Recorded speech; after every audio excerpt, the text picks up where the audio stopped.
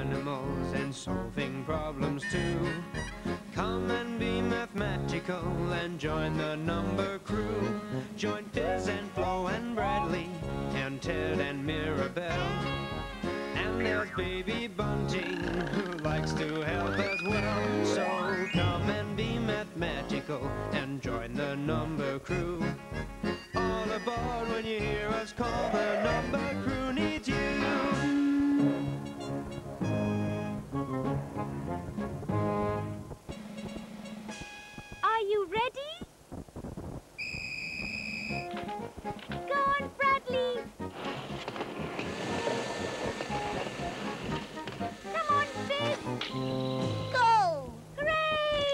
You're too good for me. She's had a lot more practice with her wheelchair than you've had with your boots. Anyway, this roller hockey's good fun.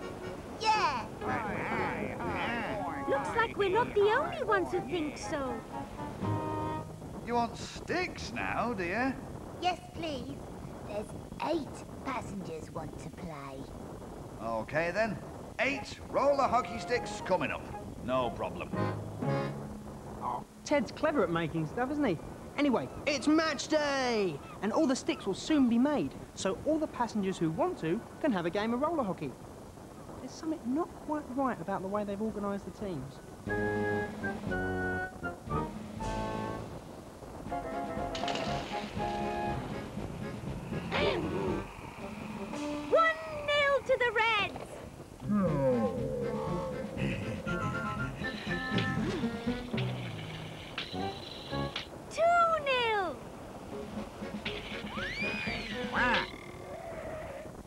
Hi, ha ha.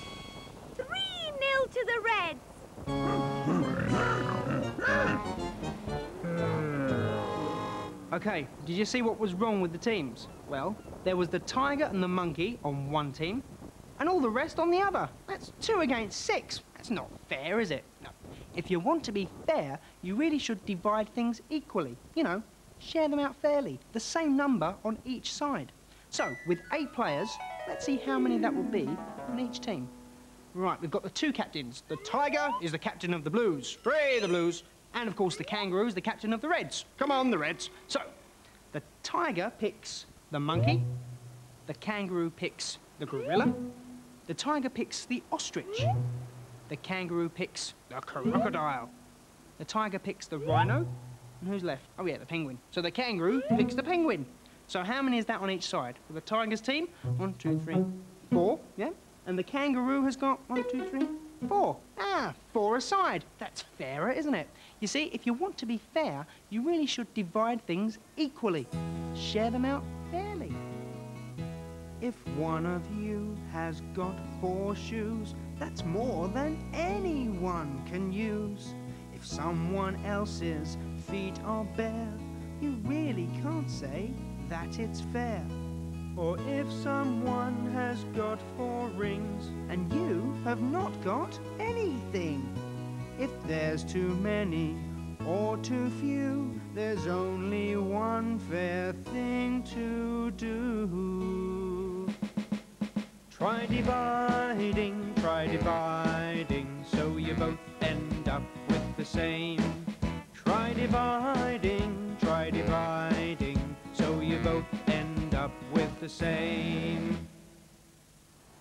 Well, back at the roller hockey match, the teams are fair and equal.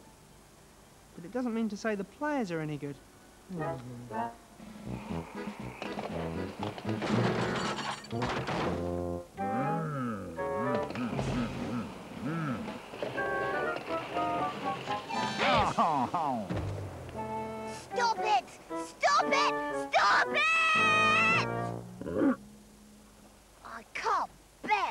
watch.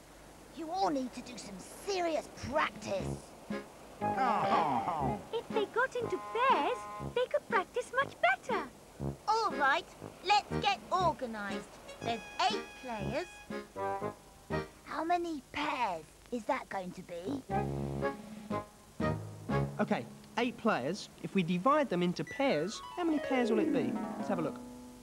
The tiger and the monkey, one pair.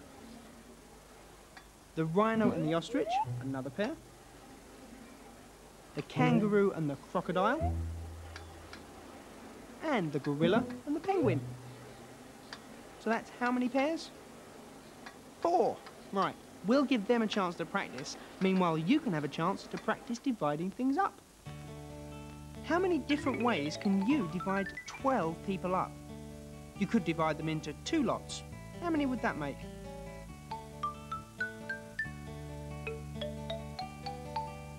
Two lots of six. You could divide them into three lots. How many would there be in each lot?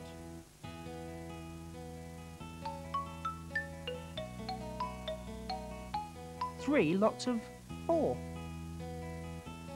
You could divide them into four lots. How many would that be?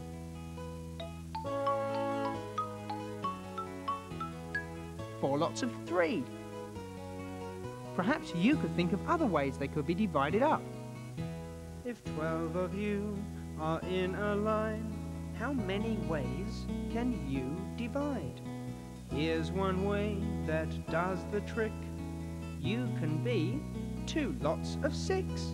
Another way's three lots of four, or four times three. Can there be more? Yes, six times two, or twelve times one. There's lots of ways it can be done.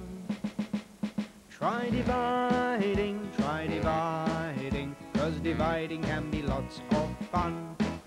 Try dividing, try dividing, there's lots of ways it can be done. Right, I think the passengers have had long enough to practice now, don't you? So, it's over to the big roller hockey match! Come on, number crew, come on! Whee!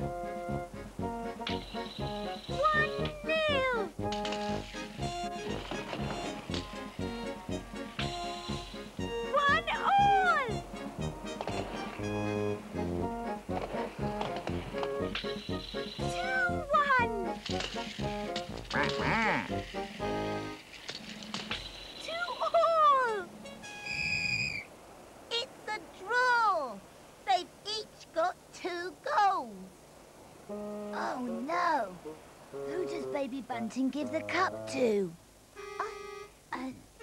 Oh.